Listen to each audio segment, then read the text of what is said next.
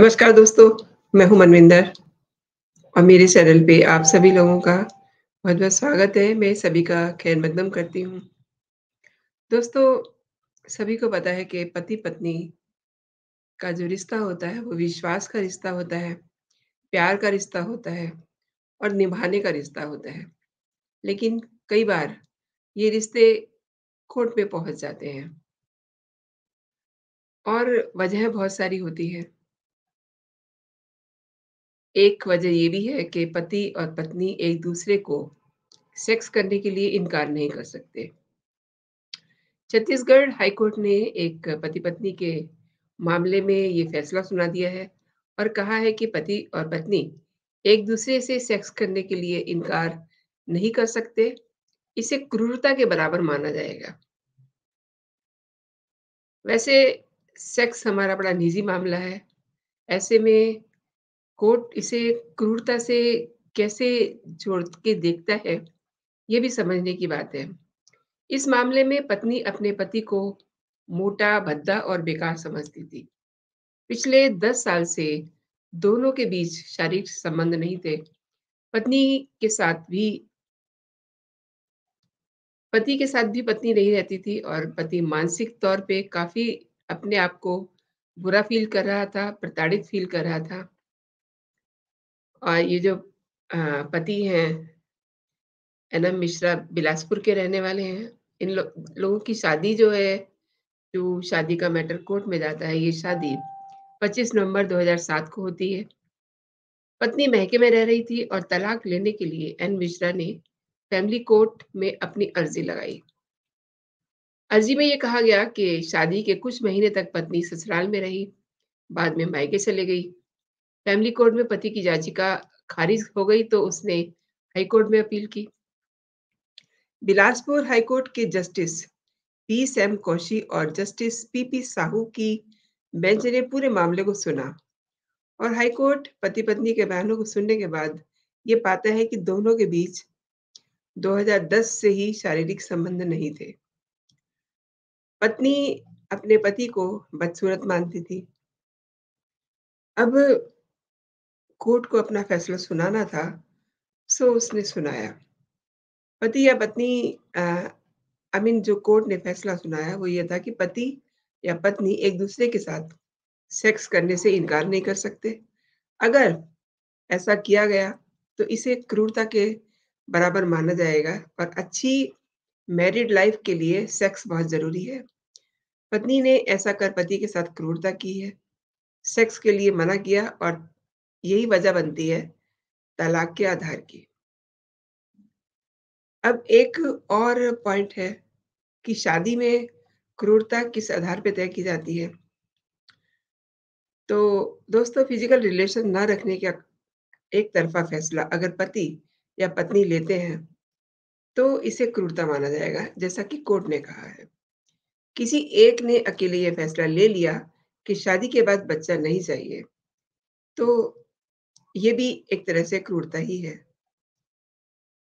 दोनों के बीच इतना तनाव है कि साथ ना रह सके और लंबे समय तक एक-दूसरे से नाराज़गी और फ्रस्ट्रेट हैं तो अ, गाड़ी आगे नहीं चल सकती।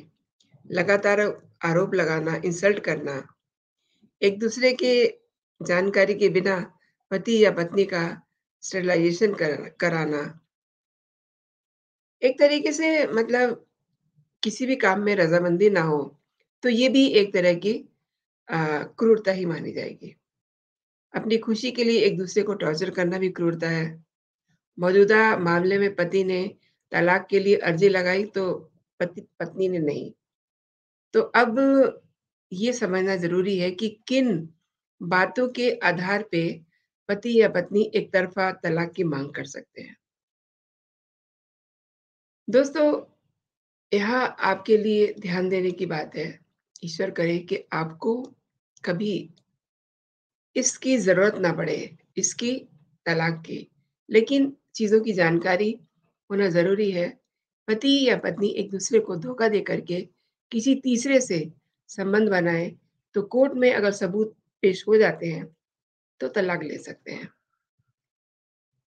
पत्नी या पति में से कोई भी एक शारीरिक या मानसिक हिंसा का दोषी हो तो आराम से तलाक मिल सकता है।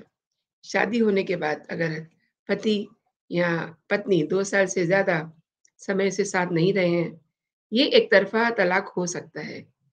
और शादी के बाद धर्म परिवर्तन के लिए मजबूर करना भी तलाक का एक रीजन बन सकता है। अगर दोनों में से कोई एक संन्यास ले सक, ले ले, ऐसा बहुत कम होता है। लेकिन अगर दोनों में से कोई एक संन्यास ले ले, यानी कि वो अपने परिवार को त्याग करके सन्यासी हो जाए तो दूसरा पार्टनर तलाक लेने के लिए अप्लाई कर सकता है। कोई एक पार्टनर सात साल से गायब हो चुका है और दूसरे को उसके जीने बनने की कोई खबर नहीं है, उस हालत में भी तलाक लिया जा सकता है। अच्छा कोई गंभीर शारीरिक बीमारी जैसे एड्स, कुष्ठ रोग या कोई और ऐसा गंभीर रोग हो ऐसी स्थिति में भी पार्टनर तलाक ले सकता है। अब एक, जो आजकल बहुत कॉमन हो रहा है घरों में कि ज़बरदस्ती रिलेशनशिप बनाना, ज़बरदस्ती संबंध बनाना क्या ठीक है? तो कोर्ट इसमें ये कहता है कि पति हो या पत्नी, दोनों ही शारीरिक संबंध का दबाव एक दूसरे पर नहीं डाल सकते। क्योंकि हमारे देश में पति को पत्नी पर हक जताने की इजाज़त सामाजिक तौर पर मिली है। इसलिए जबरन सेक्स करने की बात को पति अपराध नहीं मानता। और पति, पत्नी जो है, इसे अपना धर्म मानती है।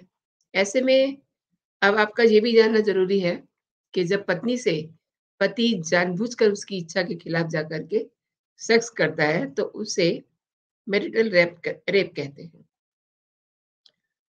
अब ये कितनी तरीके के होते हैं, मैरिटल रेप?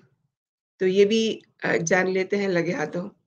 पत्नी को ज़ोर ज़बरदस्ती से सेक्स करने के लिए मजबूर करना, पत्नी के साथ उसकी इच्छा के बिना सेक्स करके उसे मारना, पीटना या ज़बरदस्ती सेक्स करने के साथ साथ उसका वीडियो बनाना।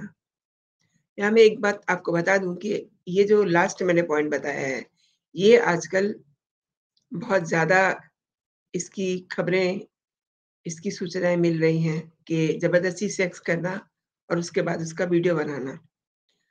ऐसी अगर स्थिति बनती है तो ये भी एक तरह से मैरिटल रेप है। और शादी के बाद पत्नी से ज़बरदस्ती सेक्स करना कानूनी अपराध नहीं है। इसके लिए किसी तरह की सजा या जुर्माना का प्रावधान भी नहीं है। फ़िलहाल दिल्ली हाई कोर्ट में मैरिटल रेप को अपराध घोषित करने के मामले में एक सुनवाई चल रही है। इस संबंध में केंद्र ने अपना रुख साफ़ करने के लिए कोर्ट से समय मांगा हुआ है। ये वो चीज़ें हैं जो घर में, घर के बड़ों के साथ या फिर पति पत्नी के आपसी बातचीत संवाद और सूझबूझ के साथ हल हो सकते हैं। ये वो चीज़ों का मैंने ज़िक्र किया है, जिनको जब चीज़ें बहुत खराब हो जाती हैं तो कोर्ट में ले जाया जाता है। तो इसमें कोर्ट ने अपने नियम बनाए हुए हैं, जो मैंने आपसे शेयर किए। लेकिन दोस्तों बावजूद इसके मैं ये कहना चाहूँगी कि ये सब मसले ऐसे होते हैं कि इनको घरों में सॉल्व किया जा सकता है। आप किसी से अपनी काउंसलिंग करा सकते हैं। आपके घर में बड़े हैं तो आप उनकी राय लीजिए, आपके दोस्त हैं, उनकी राय लीजिए। कोर्ट में जाने से पहले। और सबकी अर्जामंदी से ही सारी बातें ठीक होती हैं। ये आप भी जानते हैं और हम भी जानते हैं। जब चीज़ें खराब होती हैं, तभी कानून का सहारा लिया जाता है। तो अच्छा ये है कि गृहस्थी जो है, प्यार से चले, समझदारी से चले, लेकिन बहुत बार ऐसा नहीं हो पाता। बहुत सी जटिलताएँ जो है रिलेशनशिप में अचानक से आ जाती हैं।